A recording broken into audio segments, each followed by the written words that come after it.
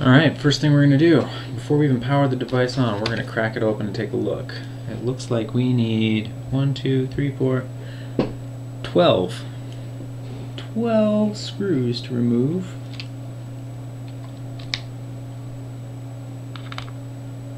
That'll do it.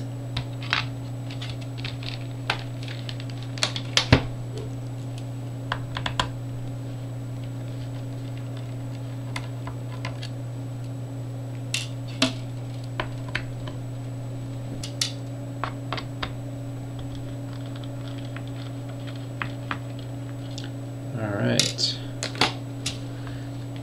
That's all.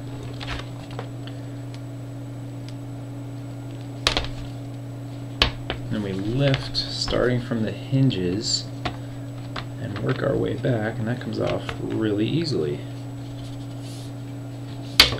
So, here we have the hardware.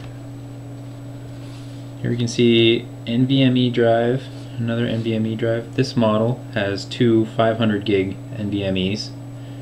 Uh, here we have our processor and heatsink with our fan. Uh, this is the extra 8 gigs that is added on to this board, giving it a total of 16. The display seems to be mounted here, as well as wireless over here, and obviously the 75 kilowatt hour battery. Not bad, honestly. Um, speaker, a speaker. What do we have? Power, HDMI, USB, USB 3, USB C, and then on this side, the power button, micro SD, uh, head headphone, microphone combo, another USB port, and the Kensington lock. Overall, looks really repairable, so I'm pretty excited. Should anything go bad, I guess if my warranty is up, I can just buy the parts and replace them myself, which was a big selling point for me on this device. I recognize that it is a rebranded Clevo laptop, but it seems there's a bit more that goes into it than just buying Chinese laptops and then slapping a logo on it.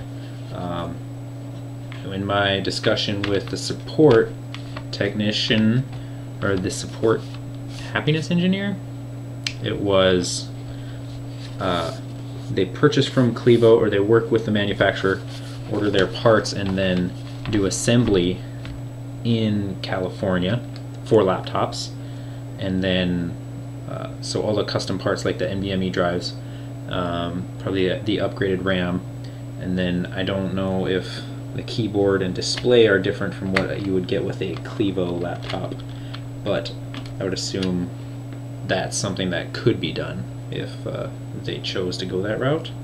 So, anyways, I'm going to put this back together, and then I'm going to power it back on.